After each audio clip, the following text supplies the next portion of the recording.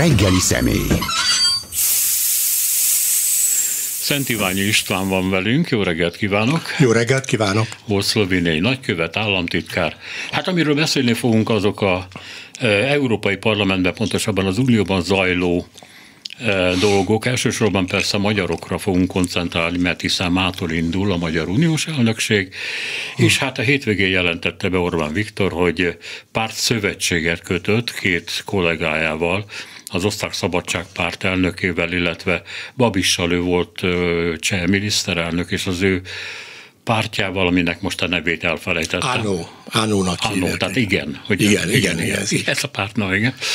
És hát akkor létre akarnak hozni egy patrióta frakciót, ami nem lesz olyan nagyon könnyű, de Orbán azt mondta, és én ezt őszintén szóval is hiszem, hogy össze tud hozni még négy országból embereket, pártokat, a 23 mandátum tulajdonképpen Már megvan. megvan. megvan. 24 van most. 24 van most, tehát meg lehet hozni, de hogy hogy lesz ebből az Európai Parlament legnagyobb frakciója, amit beígért, hát értem. Kezdem érteni az ön egyik mondatát, aki azt mondta, hogy elfáradt a miniszterelnök úr, és reméli, hogy a nyáron majd ki tudja magát pihenni. Igen, én úgy érzem, hogy ő egy álomvilágban él, egy párhuzamos valóságban, mert ennek semmi köze ahhoz, ami valóban történik. Hát ő ilyen nagyon nagy szavakat használt, ő szeret túlozni. Ugye ilyeneket mondott, hogy új korszak kezdődik, lezárul egy korszak, ami a, berlini fal leomlásától tartott mostanáig. Ezt egy 25 éves időszaknak nevezte, ez nyilván nyelvbotlás volt, mert ez 35 éve történt, de tekintsünk is el ettől, hát azért ez nem volt egy korszakfordító esemény, ami történt tegnap Bécsben, korán sem, még az sem biztos, hogy összejön a frakció. Összejöhet, lehet. Szerintem nem vágtak volna bele, ha nem lett volna komoly reményük arra, hogy még össze tudnak gerebjézni négy pártot hozzá, de hát az messze nem lesz, nem hogy az Európai Parlament legnagyobb frakciója, de még a szélső jobboldal legnagyobb frakciója sem lesz várhatóan, mert azért a Meloni frakciójának 85 tagja van, én nem hiszem, hogy annyit össze tudnának hozni. Ez inkább egyfajta identitás és demokrácia 2.0 lehet, ahogy látom, onnan, onnan várnak híveket. Idáig egyetlen párt elnök reagált pozitívan Salvini, neki van hét képviselője, tehát ő lehet, hogy ehhez csatlakozni fog. Más még senki, senki nem jelezte a csatlakozási szándékot. Péntekig van idő persze, pénteken kell bejelenteni az Európai Parlamentben a, a frakciókat, és azután ezen, ezen a frakciók méret alapján kezdődik meg a posztok elosztása. Ki hány bizottsági elnöki, bizottsági alelnöki posztot kap, delegációvezetői posztot kap, stb. tehát, tehát péntekig még van idő, szerintem gőzerővel dolgoznak azon, hogy megdolgozzanak még legalább négy, négy országokból érkező híveket.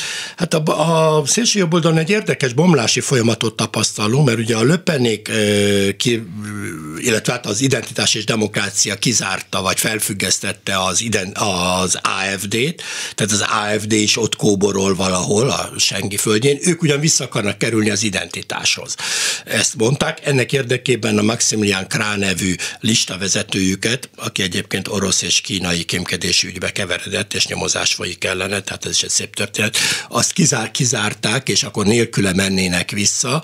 Tehát egy, egy zűrzavar állapota van ott a, az identitás és demokrácia körül, és én nehezen tudom elképzelni, hogy, hogy mondjuk Marie Le Pen azok után, hogy tegnap hát sajnálatosan ezt mondjuk el a tegnapi francia választásoknak ő, ő a nagy nyertese idáig, és hát még arra is van esélye az mostani latolgatások szerint, hogy akár a, a többséget is megszerezze a képviselőházban.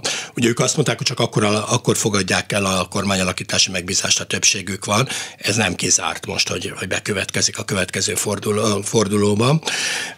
Már van 38 direkt mandátumuk, tehát 38 jelöltjük 50 fölött szerepelt, ami azért nagyon nagy szó. Hát ez elég nagy baj Európának, de erről esetleg kicsit később, ha, ha érdekes beszélhetünk. De minden esetre Marine Le Pen ez most az egyik nagy nyertes az egész szélsőjobboldali mezőnynek. Hát ő nem fog beállni a három közép-európai gyászvitézhez, és hát a legnagyobb is, hát önmagában 20 európai parlamenti képviselővel rendelkezik, majdnem annyival, mint a három együttesen.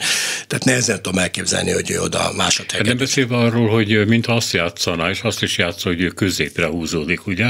Így van, ez a másik. Tehát egy ilyen Meloni féle utat Így járna van. be. Pontosan, ez egy nagyon érdekes folyamat, és pont az ellentétje annak, amit Orbán Viktor járt be.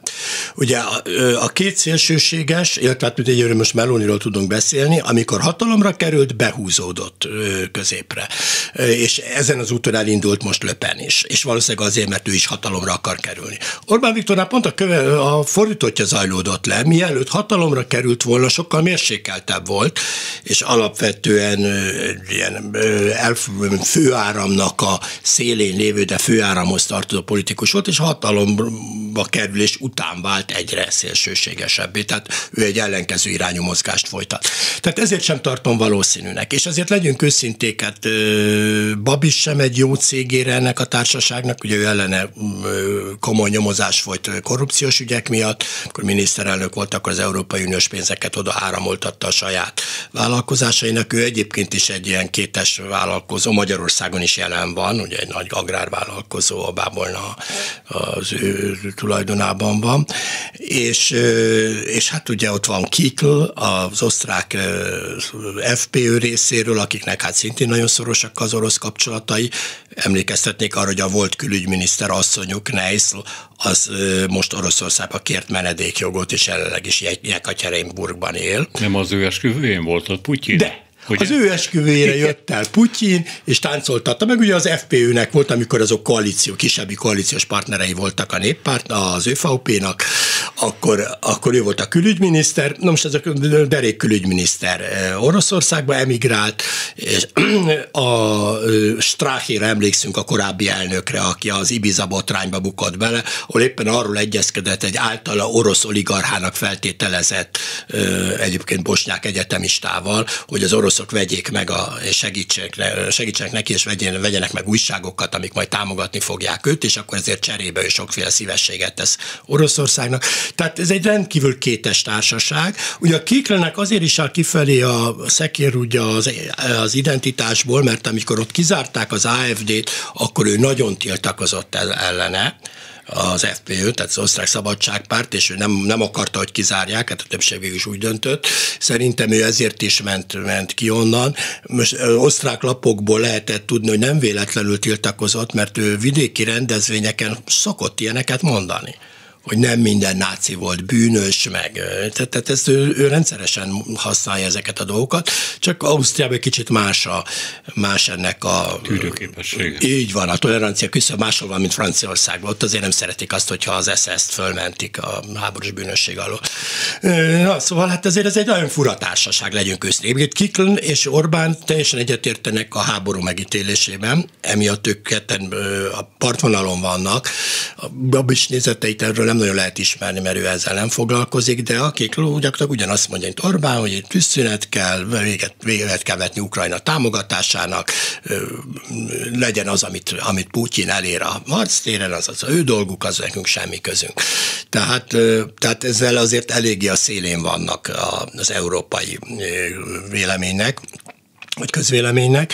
Tehát ehhez én nem tudom, hogy olyan sokan szeretnének-e csatlakozni, de meglátjuk. Tehát nem zárom ki azt, hogy ilyen törmelékpártokkal létre tudják hozni, de hogy ez nem lesz a legnagyobb fakció, és főleg nem lesz a legbefolyásosabb, az biztos. Egyébként nagyon szórakoztató maga a nyilatkozat, nem tudom, hogy kiáltvány, patrióta kiáltvány, ahol hát ilyen mondatok vannak, hogy semmibe veszik a népi demokráciát, tehát nekünk azért vannak tapasztalataik. Rákosi nem éltél hiába. Igen, igen, teljesen megdöbbentem, hogy ez így bekerült, hogy, hogy ez a fő bűne a nyugat-európai, vagy az európai elitnek, hogy semmibe veszik a népi demokráciát, és egy, egy, egyébként is üres lózungok vannak benne, tehát az összes közhelyét ennek a csapatnak azt felsorakoztatják, tehát migráció ellenességet, meg nincs elég szabadság, meg szabad népek kellenek, meg ne szóljanak bele az életünkbe, és nem onnan határ, költségvetési eszközökkel ne akarják befolyásolni ezeket az országokat.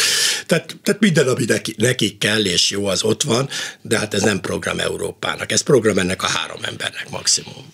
Az AFD ott tartott, ugye miután kilökték az identitásból, hogy létrehoz egy saját frakciót, Igen. ami már a szél szélén túl van, tehát valahol a levegőben. Hát az a legszélsőséges. De fölfüggesztette ezt a dolgot, mert, hogy, mert mégiscsak vannak reményei, hogy visszakerül? Én azt gondolom, hogy igen, ők mindenképpen tárgyalnak erről, ezt lehet tudni a nemzetközi sajtóból, tehát nagyon szeretnének visszakerülni. Ennek érdekében ki is zárták a, azt a ö, volt listavezetőjüket egyébként, aki, aki gyanúba keveredett ö, ebben az ügyben, és tehát ilyen kimkedési ügyben, és, és ők most fölfüggesztették, és nekik szerintem nem is biztos, hogy összejött a hét ország. A 23-at ők is könnyen megugorják, mert ugye ők maguk 15-en vannak, bolgárok, a magyar mi hazánk tartozott volna oda, tehát a legszélsőségesebbek valóban oda kerültek volna. És én azért gondolom, hogy ebből most nem lesz semmi, mert a mi hazánk is most úgy nyilatkozott, hogy valószínűleg ők, ők függetlenek maradnak. Tehát őket azért nem venné be még az identitás sem, mert azért ők már nagyon a, a szél, szélének a szélét jelentik, és ők, nekik az volt a reményük, hogy az AFD-s féle csoportba bekerülnek, de ez, ez úgy néz ki, hogy lekerült a napi rendről. Tehát, hogy az AFD-nek nem lesz egy önálló csoportja, legalábbis a jelen állás szerint. Viszont az is elképzelhető, hogy az AFD ide akar orientálódni, ugyanis, hát mint említettem, az FPÖ viszonya az, az identitással, ahol, ahol még formailag ma is ott van, azzal romlott meg, hogy nem akarta, hogy kizárják az AFD-t. Tehát könnyen elképzelhető, hogy, hogy ő ide fog csatlakozni. És az egy újabb ország, Németország, ugye ez már negyedik, és még általában még a, a, a belga szélsőségesek is, mert a flamand szélsőséges párt is kacsingat, de hát nem tudjuk, esetleg Salvini is, tehát akkor már 5-6, már majdnem ott vagyunk a hétnél, és, de ez messze nem a legerősebb frakció. És főleg nem az, amely meg új korszakot fog nyitni. Valószínűleg egy regionális miniszterelnök lenne benne Orbán, ugye?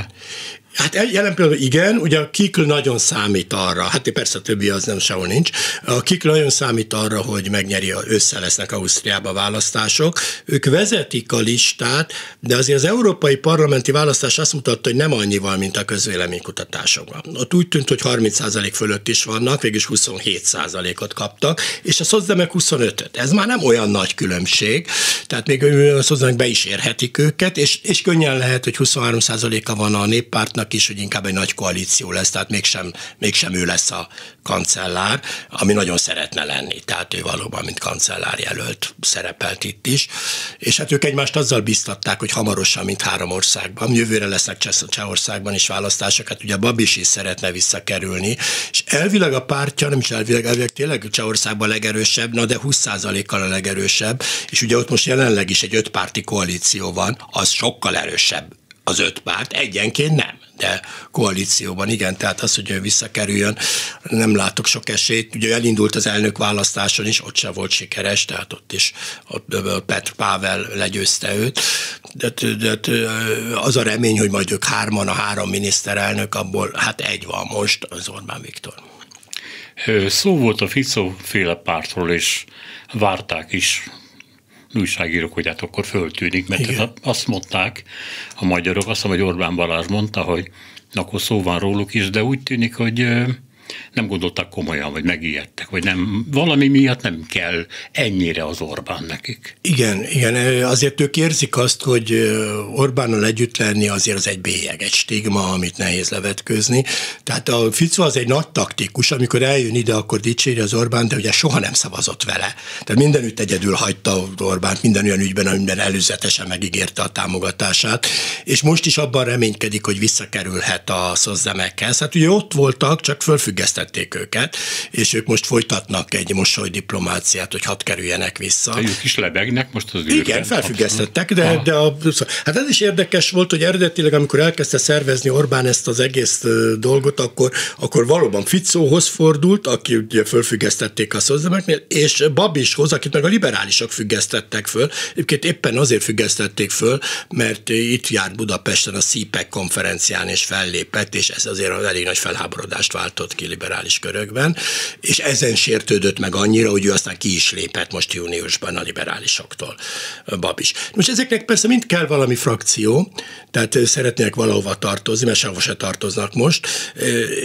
Ilyen okokból nyilván Babis az nagyon szeretne létrehozni valamit, ez az Orbánnak is ez a problémája. Mert ezt azért fölmérték szerintem, hogy az elmúlt néhány év, gyakorlatilag az elmúlt öt év lebegése az, az nem hosszú távon, nem, nem hogy hosszú távon, rövid távon sem folytatható, hát az a teljes jelentéktelen, eljelentéktelenedés és súlytalanodás volt. Ugye őket már 19 márciusában fölfüggesztették a néppártban, még két évig ilyen fölfüggesztettként elvileg a néppárt fölfüggesztett tagjai voltak, de már semmilyen tisztséget, semmit nem kaptak, semmihez nem fértek hozzá, és 21-ben pedig ki is léptek, tehát azóta ők függetlenek. Most az, az nyilván az lehetett tudni, hogy nagyon be akar kerülni valahova, legszívesebben a, a konzervatívokhoz került volna be, mert azok most már a melóni mozgása miatt azért a, a szalonképesség határán belőre kerültek. Határon vannak, de már a belső oldalán, tehát úgymond a kerítésen ültek, de most már át libentek oda, és valóban ott olyan pártok is vannak, mint Petr Fialának az ODS, a cseh miniszterelnök pártja is ott van, akik klasszikus konzervatívok, ők azért léptek be még eredetileg, mert ugye amikor létrehozták ezt az európai konzervatív csoportot, azt még David Cameron hozta létre, mert kilépett a néppártból azzal, hogy a Torik, azoknak legyen egy önálló frakciója, ehhez csatlakozott akkor egyébként Bokros Lajos is az MDF is a tagja volt, és ugyanígy a cseh ODS, ami egy klasszikus konzervatív párt. Tehát azért e, egészében ezt a csoportot szélsőbonalnak nevezni már eredetileg sem volt korrekt, de most azzal, hogy a vezetőjük Meloni ennyire közelít az európai főáramhoz, már szerintem nem, nem lehet így, így apostrofálni őket ők mostanra egy ilyen potenciális partnerek lettek. Egyébként von der Leyennel nagyon szoros is a kapcsolata Melóninak. Ugye nem véletlen, hogy az egyetlen, akit ő ne, ellen nem szavazott a Melóni, hanem csak tartózkodott, az von der Leyen. A másik két jelöltet azt nem szavazta meg. Én azt is gondoltam, mert ugye Meloni reménykedett abban, hogy ezt a középre húzódást, meg az ő európai szerepvállalását, ami kétségkívül Ukrajna ügyében nagyon komoly, azt valamiképpen megjutalmazzák, és nem történt semmi, mint a, és kicsit úgy érzem én is, hogy egy ilyen szűkeblűség vezette ezt a három pártot, amikor a európai pozíciókat elosztották, nem szabad ennyire ennyire, hogy mondjam, egy buborékban lenni, a Melóninak járna valami, ezt gondolom. Én ezzel teljesen egyetértek. Itt általában Scholz volt az, aki nagyon tiltakozott. Von der Leyen be akarta vonni a Melonit is ezekbe az egyeztetésekbe, és ő most azért sértődött, mert valóban egy nagy országnak a miniszterelnöke, és, és nagyon sok kérdésben teljesen konstruktív, a háború kérdésében abszolút, de a migrációs paktumban is nem jött volna létre nélküle, és abszolút együttműködés, ehhez képest ő teljesen kizárták az egyezkedésből. Ezt, ezt ő nehezményezi is, el is mondta, ezért is ellenzi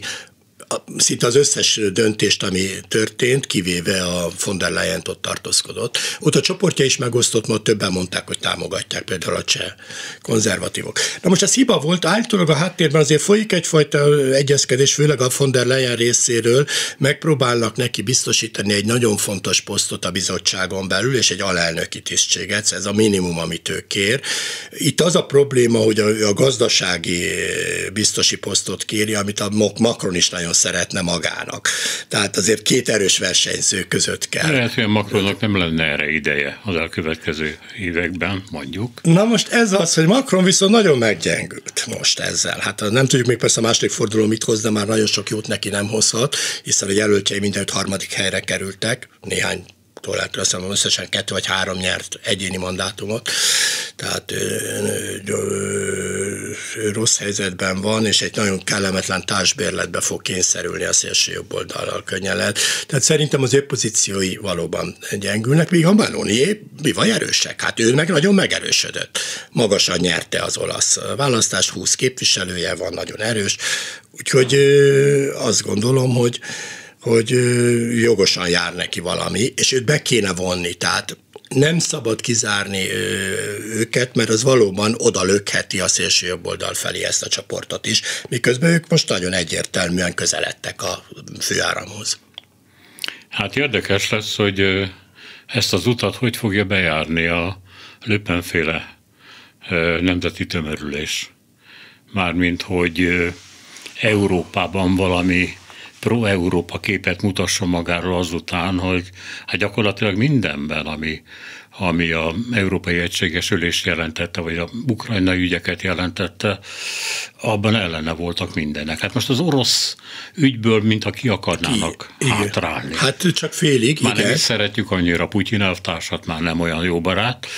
Másban nem nagyon látszik, hogy az euroszkeptikus álláspontot feladnak. Azt nem, egy, egyértelműen ez volt a fő üzenetük is, tehát ez a nemzetek Európája, le kell építeni a brüsszeli bürokráciát, stb.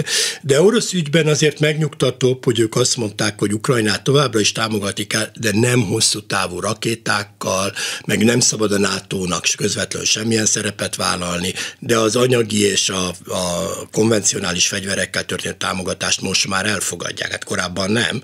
Ugye azért emlékezzünk vissza, hogy mielőtt Orbán Viktor támogatta volna Marie Le Pen kampányát, az előző kampányt azt Putyin támogatta 8 millió euróval. Tehát, tehát ők azért elég szoros kapcsolatokat ápoltak. Mint hogy furcsa módon minden, szinte mindenkinél fölsejlik ebben a körben az orosz támogatás. Ami orosz részről érthető is, hiszen ők az avarkeltésben érdekeltek, ők abban érdekeltek, hogy a szélsőséges csoportok megerősödjenek, tehát ők keresik a kapcsolatot ezekkel a szélsőséges elemekkel, de hát ezek fogékonyak rá. Tehát ugye az előbb említettük, az AFD listavezetője és a lista másodikja is ö, nyomozás alatt áll, már az ő munkatársukat le is tartóztatták, házkutatások voltak náluk, ö, és mind a kettőről orosz, illetve ö, kínai kémkedéssel kapcsolatban Kneisler már beszéltünk, aki menedékjogot kért, FPÖ, és a Kiklék kapcsolatát, Orbánnál ezt nem is kell bizonygatni, hogy milyen szorosak ezek a kapcsolatok. Tehát minden, a Löpennél ott volt az orosz támogatás, van olyan vélemény, hogy, hogy valójában a magyar hitel mögött is oroszok álltak, amit biztosított Magyarország.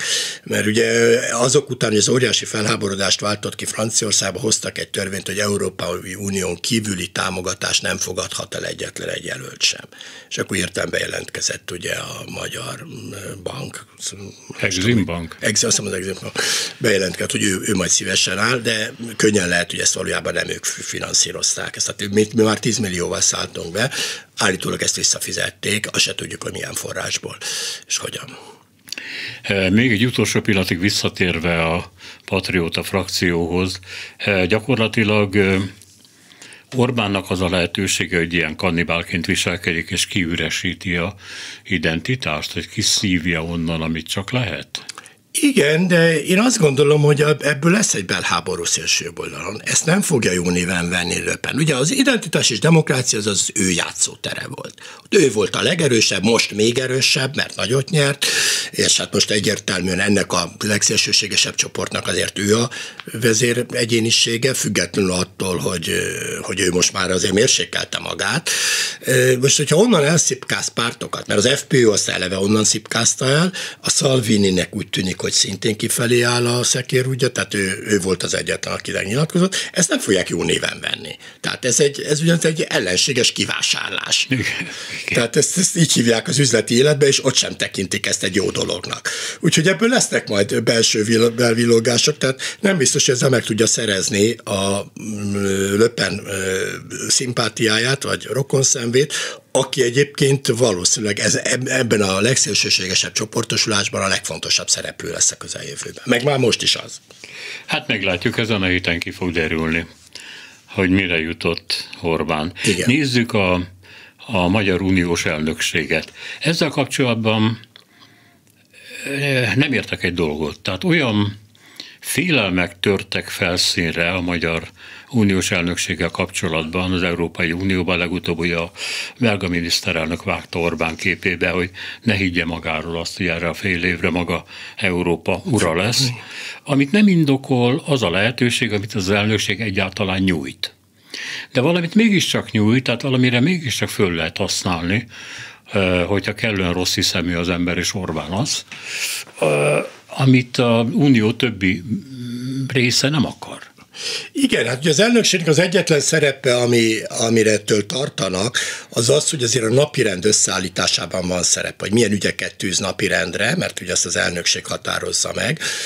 Nem az Európai Tanács elnökségét, mert azt, nem az Orbán lesz az elnök, hanem most hát ők Antonio Costa, és most még a Charles Michel, de az egyes formációkban, tehát az egyes miniszteri tanácsüléseken, kivéve a külügyit, mert ott meg persze szintén nem, sőt, tehát ugye most megválasztott Kaja Kallas az keményen Orbán kritikus, és keményen Oroszország kritikus, vagy hát Putyin, Putyin kritikus. Maradtak is sokan, hogy nem szabad ennyire egy ilyen Putyin gyűlölő baltikumi nőt oda rakni, de jól tették. Én azt gondolom, hogy jól tették, mert egy olyan időket élünk, amikor nagyon nagy szükség van arra, hogy Igen. szembe tudjunk szállni ezzel a fenyegetéssel, és határozottan szálljunk szembe ezzel a fenyegetéssel.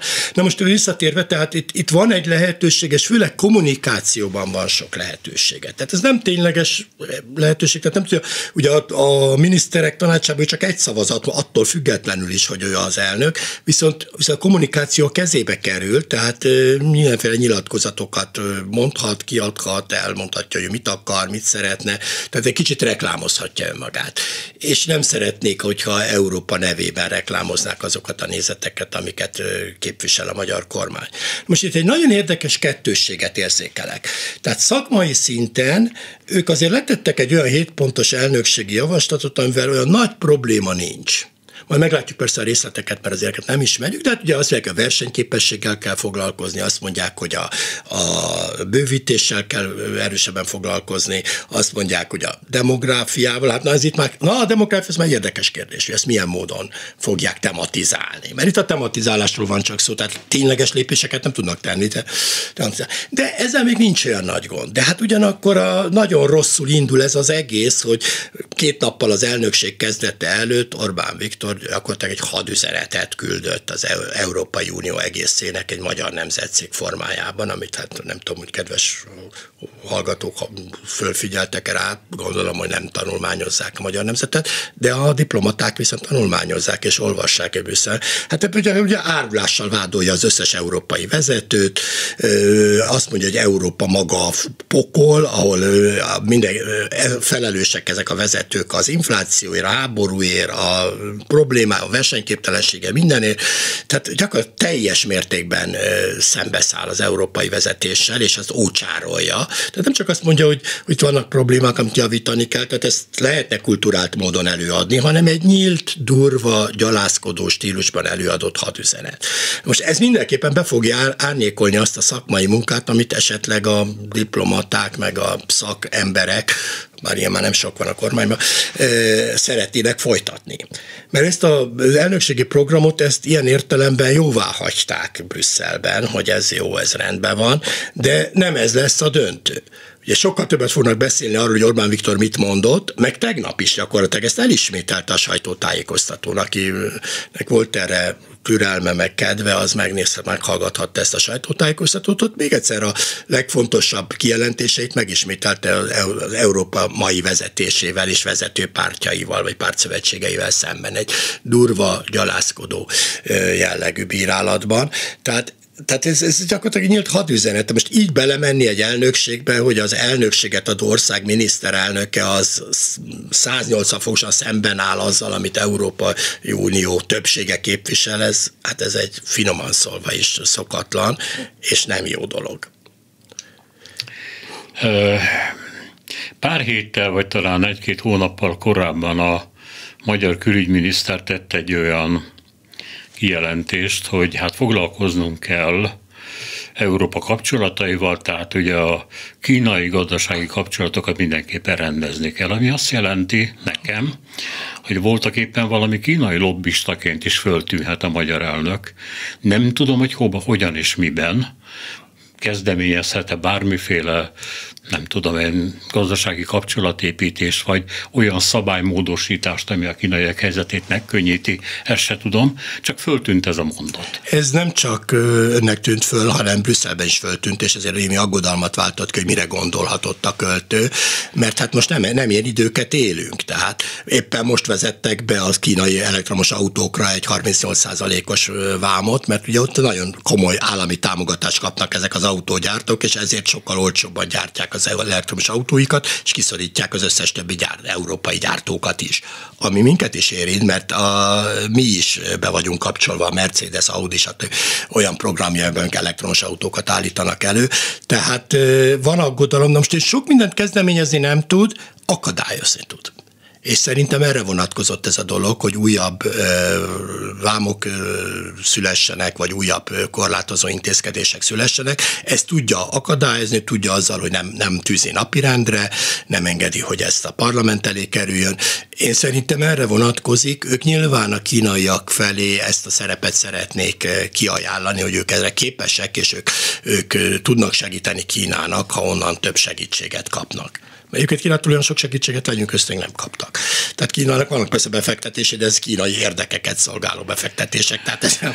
Talában is elmondható Orbán keleti barátairól, Igen. hogy igazából semmit nem kap. Semmit nem adnak. És semmit nem ad, nem csak, hogy semmit nem adnak ingyen, de minden drágában adnak. Hát ez például a földgázra abszolút Igen. igaz, hogy mivel mi kapjuk a legdrágább. Ami azt jelenti, hogy nem barátnak tekintik, hanem valami más beosztásba.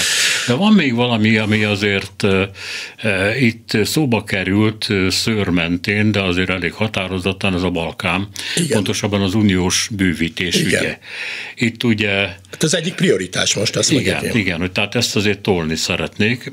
Többek között azért, mert nagyon sok barátjuk van ott. Igen, hát ennek nyilvánvalóan ez az oka, hogy sok barátjuk van, meg az is az oka, hogy ha sikerül fölvizezni az Európai Uniót, akkor sokkal nehezebb lesz számon kérni az olyan dolgokat, mint jogállamiság, meg bármi, mert akkor már sok olyan ország lesz, aminek ezzel komoly problémái vannak. Hát különösen azok, akiket ők különösen tolnak. Hát elsősorban Szerbiára gondolok. Hát Szerbia az nagyon rosszul áll ezekben a dolgokban. Tehát sajtószabadság, jogállamiság, emberi jogok, kisebbségek, ezekben mind-mind nagyon deficit deficites, és hát a többi sem remekkel ilyen szempontból, hát Boszniáról most ne is beszéljünk, ahol hát ugye ott van a Milorad Dodik, aki hát egyértelműen Moszkva ügynöke, és hát a Vucicnak a legbelső barátja, meg hát mi támogatjuk őt nagyon szépen pénzzel is, nem kevés. Jár is érte a Dodik díj. Így van, meg is kapta Orbán Viktor ugyanazt a legmagasabb boszniai szebb köztársasági kitüntetést, amit idáig csak Vucic és Putyin kapott meg, hát ez jó társaság. Tehát ők ezt nyilvánvalóan ilyen okokból is szorgalmazzák, tehát érdekes módon, amikor arról beszélnek, hogy bővítés, akkor nem úgy általában, tehát Ukrajnáról soha nem esik szó, hanem Nyugat-Balkán és hát ott elsőben ők Szerbiára gondolnak, tehát ez egyértelmű. Most az, hogy a bővítés az egyébként Magyarországnak hosszabb távon érdeke, azzal én egyetértek, és, és abszolút fontos, hogy a magyar gazdaság számára egyfajta expanziós lehetőséget biztosít a Nyugat-Balkán, emiatt ott jelen is vagyunk a legtöbb országban, OTP, MOL, stb. Richter, magyar regionális bajnok vállalatok. Tehát ebben ez nem lenne baj, csak az azzal van baj, hogy ezt feltételek nélkül támogatják. Tehát nem úgy támogatják azt, hogy igen, szeretnénk, a bekerülnétek, de tegyetek érte valamit. És itt elsősorban gondolok arra, hogy, hogy konszolidálják a demokráciát, a, a jogállamiságot. Tehát, tehát a tagállami működésre felkészülten kerüljenek be. Mert az Európai Uniónak arra nem nincs nagy szüksége, hogy olyan országok kerüljenek be, amelyek teljesen felkészületlenül, és sőt, hát ilyen bomlasztó erőként kerülnek be a, az Unióba.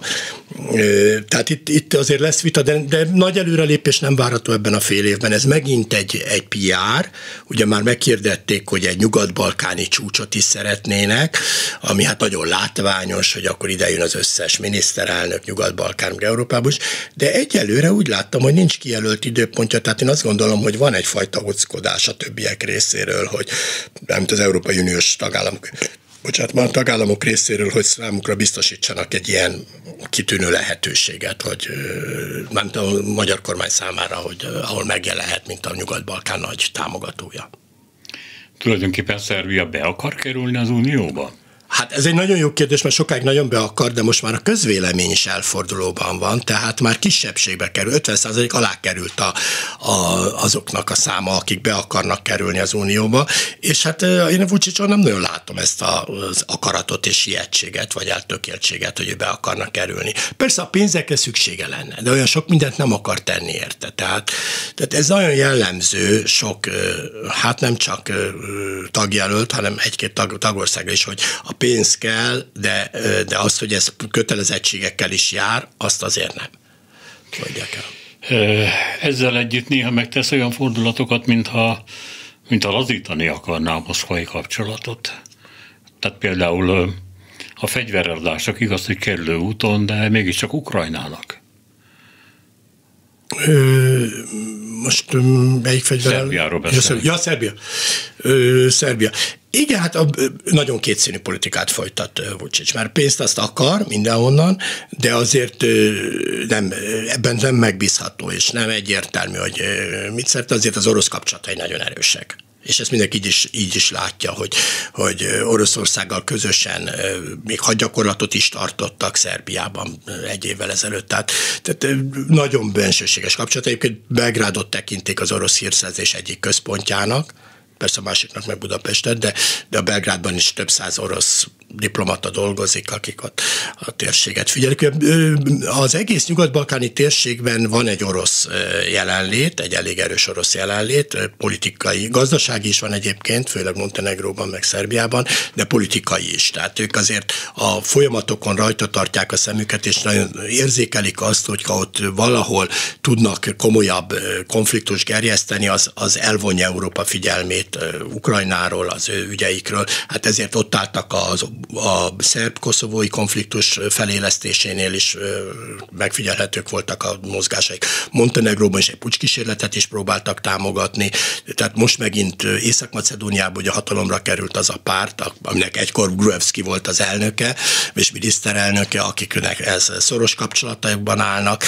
Hát Dodikról is beszéljünk, aki hát folyamatosan azzal fenyeget, hogy felrobbantja a Bosznia-Hercegovinát és kilép onnan népszavazásra. Tehát az oroszok nagyon komolyan jelen vannak, és ezt belgrádi főhadiszállásról intézik. Csak még egy link ide. Meglehetősen ironikus, hogy Szerbiába is nagyon sok orosz menekült el a háború elől, a behívások elől, Putyin elől, tehát ezek nem feltétlenül hívei a rezsimnek, de több ezeren, vagy talán több tízezeren is vannak, akik ott berendezkedtek Szerbiában, és szerintem egy párhuzamos világot építenek ki ebben a pillanatban. Igen, ez így van, és ők valóban szerintem nem Putyin hívelyet. Ez összefügg azzal, hogy amikor leállítottak minden repülőt, akkor Európában gyakorlatilag csak Belgrádban van közvetlenül légi összekötetés Moszkva és meg, meg Szentpétervár és Belgrád között, ugye máshol nincs, hát még Isztambulba lehet menni Törökországba. Tehát ez, ezzel is összefügg, meg azzal is, hogy azért a Szerbiában az oroszokkal kapcsolatban az általános közvélemény pozitív. Tehát ott egy orosznak, még akkor is, hogyha nem Putyin párti, pozitívan fogadják. Tehát egészen másképp fogadják be. Azért Nyugat-Európában a háború kezdete óta nagyon megromlott az oroszok megítélés, az átlag orosz megítélése is. Mentegetőznek is, akik ott vannak, hogy nekem semmi közöm közben Putyinhoz. Tehát, tehát kevés olyan európai ország van, ahol ők jól érezhetik ki magukat ilyen szempontból. Ráadásul még nyelvileg sincs akkora különbség, még, még a Cyril betűk is ott vannak, szóval ilyen okok vannak a mögött, hogy Belgrád lett az egyik központja valóban az ellenzékeknek is. Viszont érdekes módon még az, az igazán ellenzékek azok Litvániában, meg Lengyelországban mentek, és onnan rádióadást üzemeltetnek, meg, meg újságokat adnak ki. Belgrádban semmi ilyesmi nincs. Tehát ezek a menekültek radar alatt meghúzódnak, tehát ott, ott nincs ellenzéki tevékenység.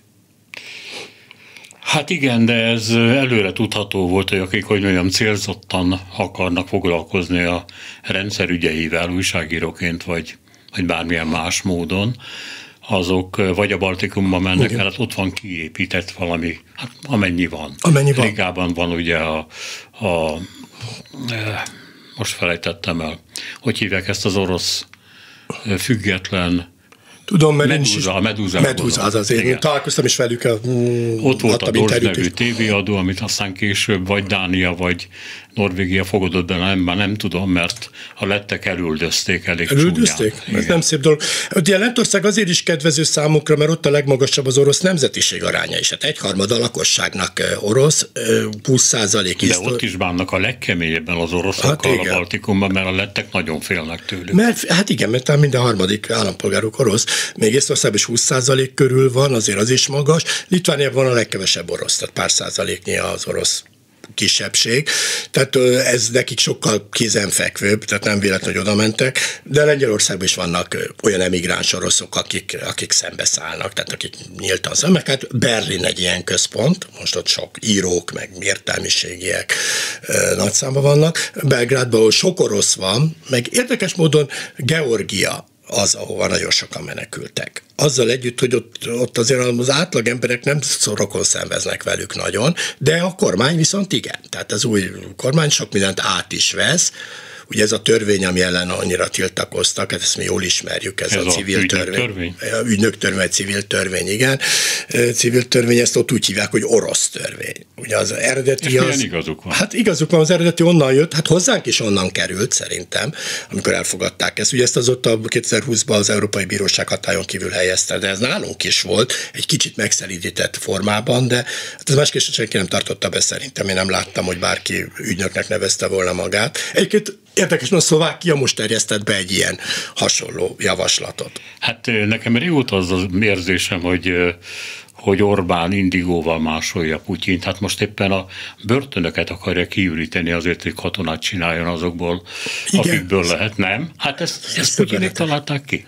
Igen, ezt az oroszok kezdték el valóban, és igen, ő is börtönökbe toborozza a katonákat, tehát azért fegyvert adni olyan emberek kezébe, akik azt már az oroszok is megtapasztalták, le is állították ezt a programot, ugyanis fél év után ugye mindenkinek szabadságot ígértek. Igen. Na most ezek fél év, aki túlélte, mert nagy részük nem élte túl, aki túlélt, az hazament és folytatta a gyilkolást csomó ilyen eset van Oroszországban, hogy, hogy ö, utána rászabadították a, a ezeket a igazából az első vonalba hajtották ki. Igen. Azt akarták minél többen meg. Ugye a Prigozsin, amikor még élt, ő azt mondta, hogy 20 ezeren haltak meg közülük ezekből a börtönök, kb. 40 ezeren voltak, és a fele az és ezt még a Prizsigozsin életében mondta, de ugye ezeket később is használták, tehát ki tudja, hogy mennyi maradt meg. De akik megmaradtak, a Rwanda szólnak a hírek, hogy terrorizálják a saját településüket, hazamentek, vagy akár gyilkolnak is, megerőszakolnak. Tehát hát hiszen az állam visszaigazolta Igen. azt, hogy tulajdonképpen nem a börtönben van álljük, kicsit kellett katonáskodni, öl, öl, öldökölni, aztán mehettek Öldökölni, és hogyha túl, fél évet túlélték, akkor mehettek haza. Minden további nélkül. Egyébként, amit mondott, hogy az oroszok megítélése mennyire változott, Európában ezzel kapcsolatban mondta az egyik, egyébként már az ott a Berlinben élő híres orosz író, hogy a orosz szó toxikus lett. Igen. És hát valóban én magam, magamon is tapasztalom sajnos, hogy, hogy ez így van. Tehát a orosz szót hallok, amit egyébként értek, az utcán vagy a villamoson, akkor ugye nincs jó érzés. Persze. Nincs jó érzés. Mert nem tudom, hogy ezek kik, mifélék. Hát, Van itt a közelben egy orosz bolt, és hát a kollégám azt mondja, hogy beszélgetett velük, és hát nagyon erősen putyinisták. Ha, hát a magyarországiak biztosan, persze. Igen. Én emlékszem rá, hogy amikor ott volt egy tüntetésünk a orosz nagykövetség előtt, ez nem most volt a háború kitörése után, akkor ott megjelentek ilyenek oroszok, akik putyini táblákkal, mert putyinista, itt élő oroszok, Putyint éltet, éltetik ellentüntetőként. Tehát, tehát igen, itt a magyarországiak valószínűleg. Egyébként egy orosz író szintén, most a nevére nem emlékszem, talán Berlinben azt mondta, hogy most értette meg, hogy milyen lehetett a németeknek második világháború után a világban bárhol megtűnni. Most értem, hogy milyen megítélésük lehetett, és milyen kínos lehetett németnek lenni mondjuk 47-ben, vagy 48 vagy 46-ban. Azoknak is, akiknek semmi közük nem volt a náci rendszerhez, esetleg emigránsok voltak, mert az, az emberekben az volt benne, hogy hú, a németek azok milyen. Na most ez, ez Nyugat-Európában nagyon jellemző, hát ilyen nincs Szerbiában, ez biztos. Még annyi időnk maradt, hogy beszéljünk az unió lehetséges irányairól, működéséről. Ugye az van, hogy Franciaország hát kicsit fölfordult és meggyengült. Igen. Az biztos. Igen. Tehát kevesebb ideje, energiája marad a francia elitnek a európai ügyekre, de Németország sincs olyan nagyon-nagyon jó helyzetben az előrehozott választások.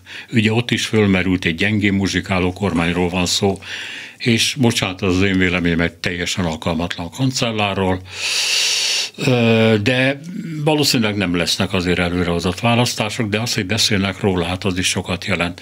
Tehát a két centrumország meggyengült. Ez így van. Nem történt áttörés az európai parlamenti választáson, de azért a jobb oldal erősödött, ez kétségkívül így van. Az egy külön szerencsé, hogy ennyire szegregálódnak egymástól, összefognának, sokkal nagyobb baj lenne. Mi lesz így az Unióval az elkövetkező években, mit gondolsz? Hát én ugyanezeket a problémákat látom. Tehát ugye volt egy nagy évű közös elképzelés a francia és német kormánynak, ez a, amit nyilvánosság is hoztak egy 40 oldalas non-paperbe, hogy miféle reformokat szeretnének megvalósítani, és ezek, ezek nagyon előremutató és jó gondolatok voltak, például a többségi szavazás bevezetése, például akár a kizárás lehetőségének is a bevezetése, egy ötödös szavazás, és, és sok minden, ami, ami segített volna működőképes és cselekvőképessé tenni Európát. Na most hát ezeknek az esélye, mármint a, a megvalósulásnak az esélye az minimálisra csökkent. Én úgy gondolom, hogy valóban Macron is meggyengült, a német kormány is meggyengült, és most már lassan rá fog fordulni arra, hogy a jövő őszi választásokra készülődjön, és hát nem vitás, hogy a, a jobb oldal felerősödött, és most nem, nem csak a néppárti jobboldalra gondolok, mert azzal önmagában nincs problémám, mert ők alapvetően támogatják a reformokat, ugye a német CDU az nagyon megerősödött, CDU-CS az bivaj erőssé vált, tehát az a meghatározó, a leg, legerősebb pártja most Európának, a legtöbb képviselővel rendelkező párt. De hát a, a, a szélsőjobb is erősödött, ezt nem lehet vitatni. Emiatt én sajnos nem számítok arra, hogy érdemi reformokra sor kerül ebben az öt éves ciklusban. Tehát ez, erre most nagyon kevés esély van, pedig Európának nagyon nagy szüksége lenne rá, mert valóban komoly kihívások előtt áll. Egyrészt van egy külső kihívás, egy geopolitikai, ez az orosz fenyegetés, befektetéssel függ össze, van egy gazdasági versenyképességi, ami, amiben benne van a Kína történet, tehát Kína által támasztott egyenlőtlen verseny és állami támogatásokkal elősegített verseny, ami árt Európának, és ezzel való szembeszállás, és hát vannak a belső problémák. Hát ugye ezt látjuk, hogy a populizmus terjedése az, az itt van Európában, az egyre erősebb több országban, tehát nem... És még jön a Trump. Hát, na, ja, bocsánat, ezt kihagytam, az egyik legfontosabb dolog. És hát most minden józan előlátás szerint nagy eséllyel Trump lesz az Egyesült Államok elnöke, aki hát már az előző ciklusában is abszolút Európa ellenes volt, hogy ezt többször ki is jelentette. Kimondta azt, hogy Kim Jong-unnal szívesebben tárgyal, mint Angela Merkellel, meg ilyeneket mondott.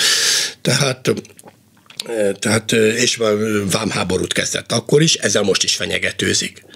És akkor itt, itt mondanám el azt, hogy itt ugyan van egy kormánypárti nagy reménykedés és optimizmus, de itt, itt nagy gondok lehetnek egy Trump adminisztráció idején, mert hogyha bevezeti, és elsőbb az autóiparra a nagyon kemény vám és korlátozó intézkedéseket, az minket nagyon érint. Ugyanis ezek az autók, európai autók nagy része, mint Onekot piaca van, az pont a Mercedes, pont az Audi, pont a BMW. Ezek a luxus autók, amiket részben itt így gyártanak, és ezek a cégeknek rosszul megy, akkor nekünk is rosszul fog menni. Tehát ez egy abszolút kockázat benne, és hát nem beszélve arról, hogy, hogy a Orbán Viktor kokettálását a kínaiakkal azt nagyon rossz néven veszik a republikánusok is. Ugye McConnell, a szenátus republikánus frakció vezetője, az egyenesen azt mondta, hogy, hogy Orbán Viktor meg kell büntetni azért, mert ő áruló és a kínaiakkal szövetkezik. Tehát nem lesz ez olyan könnyű, mint ahogyan itt ezt remélik. Köszönöm szépen, hogy itt voltál. Én is köszönöm a lehetőséget. Köszönöm. Szent Iványi István volt a vendégünk az elmúlt közel egy órában. Csorba László, Kelecsényi Krisztina, Zsidai Péter, Selmeci János és Szénási Sándor köszöni a mai figyelmüket is. Minden jót! Reggeli gyors, nem marad le semmiről.